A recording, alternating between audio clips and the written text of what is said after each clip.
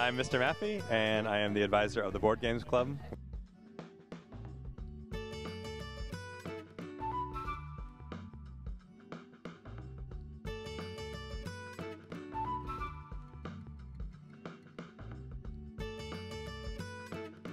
Board Games Club is a place where kids come after school and we play our favorite board games like family game night without our families, so it's way better.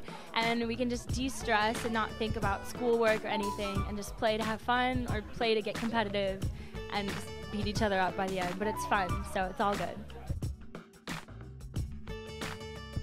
Board Game Club is awesome. We play an assortment of trading card games here.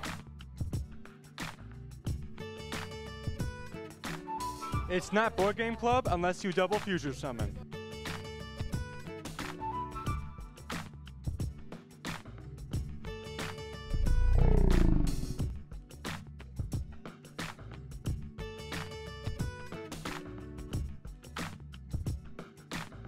The knowledge with Board Game Club is at the end of the day is what gets me through Mondays.